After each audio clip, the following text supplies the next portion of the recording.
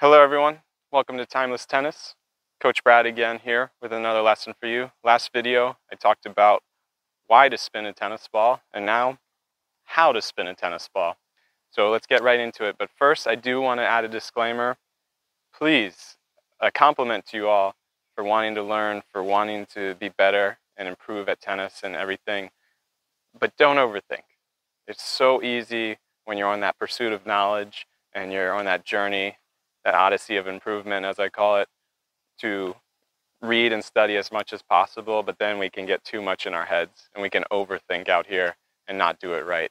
And there are some very good sayings in the world, some slogans like just do it, which is actually pretty spot on because athletes, when we're in the zone, are we thinking? No. And you've been in the zone before, even if just once, and you were on autopilot. So we're going to get you there. I'm going to teach you how to do it, but we're not going to overthink along the way. So getting right into it, how to produce spin on a tennis ball. First thing first, it's about your strings. Now I want you to take a moment and think you have two options. Which strings are more important on a tennis racket? You have a 50-50 choice. They're either the ones that run up and down, or the runs, ones that run side to side. Go ahead and vote now. And if it, just in case you guess wrong, don't worry, you're going to be fine. The answer is the ones that run up and down. Those are the mains. The mains and the crosses. The mains are the most important strings, like main street, main string. They are more important. Uh, they're at the center of town, if you will. The reason they're the most important is because you set the racket sideways to hit. So now they're this way. So don't feel bad if you guessed crosses because they do switch places, you see? So don't feel, don't feel bad if you got it wrong. The reason the mains aren't most important is because as you see, if I set them and I go up the ball, my fingers can catch and actually make topspin. These crosses don't make any spin. Sorry, crosses just hold the tension of the mains. So if you want to make backspin, you take the mains and you go down, down the ball. Simply put, this way. And you see that they catch and they make spin. Again, crosses, they, don't really do much. They just hold, ten, hold the mains in place. But that's okay. We love crosses anyway.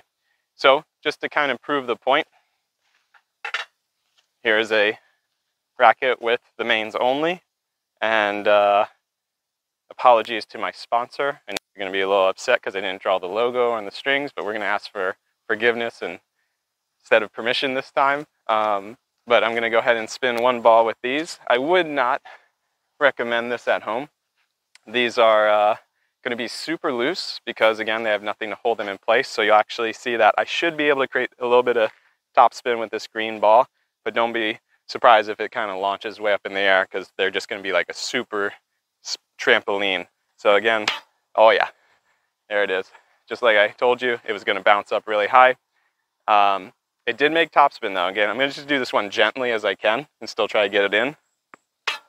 And you see that is having topspin with just mains, and that is exactly how it works. Uh, we'll try one more right-handed just for everybody at home. And don't be surprised if this ball goes super high, but it actually does have over-the-top topspin. So there you go, mains. Congratulations if you got it correct at home. As we know, when you're doing topspin, just take those mains and take them up the ball. If you want the topspin, if you want backspin, take them down the ball. But best practices. Why do we do topspin and backspin, remember? Obviously control, but it's about your target. If you want a short target, backspin. If you want a long target, topspin. The motion is the exact same for those words I just said. Remember long target? So longer motion. Long, take those mains and just keep going through the ball and you will get effortless, easy, repeatable topspin. Okay? It's much easier when you take the racket out and just keep going through the ball to create topspin. Backspin, done with a short motion. Short target, short motion. Easy to get it in every time. A lot, sometimes you're gonna see people do these crazy big slice shots, like trying to do a big old wind up, messing around. You're gonna whiff the ball. You're gonna mess up. You're gonna miss it nine times out of ten if you try to do too too much, as you see. You're, you're gonna miss it a lot. But if you keep that swing short, you're gonna make it almost every time. Short target, short motion, slice. Long target, long motion, top spin. Okay, easy to keep it in, keep it in mind. Now I'm gonna, I'm gonna kind of blow some people's minds here with the top spin. One more tip that's gonna really help you guys out. Top spin and tennis in general, it's not really a wristy thing. Your wrist is actually gonna stay pretty straight when you play tennis, believe it or not. It's the angle of your racket that does all the work. It's kind of like a golf club face, except instead of facing open, it's facing down. And if you really know your grips, and I will cover this elsewhere in another video, but if you even know like an Eastern grip, if you just hold your wrist perfectly straight and hold an Eastern grip correctly, you see that the racket angle is actually a little bit crooked, a little bit down. That's what we want.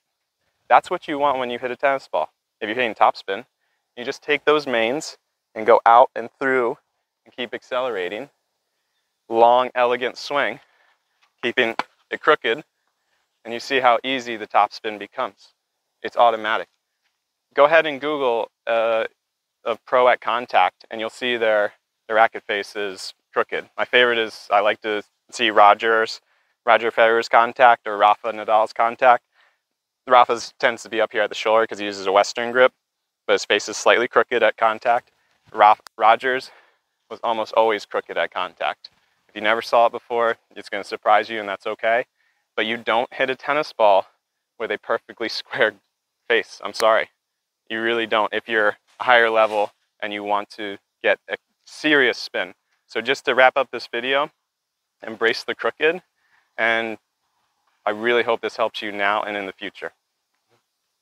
I will now hit a couple shots, all different hands, all different styles, forehands, backhands, just to show off this point.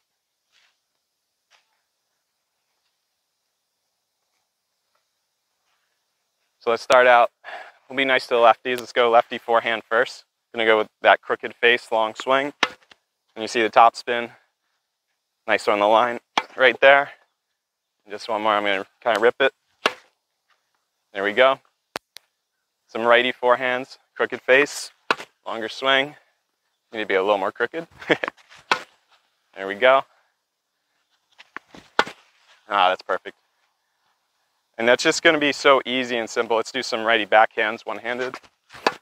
There's a pretty nice one, crooked again, and longer. Need to go a little bit longer on that target. Let's do a slice, short motion. Well, let's not do that. Let's not count that one. Switching hands has its has its costs sometimes. There we go. That's a beauty. And then let's go uh, let's go to a lefty backhand. Long swings for topspin, short swings for backspin. And you can do anything you want to a tennis ball. I hope this helps you now and in the future.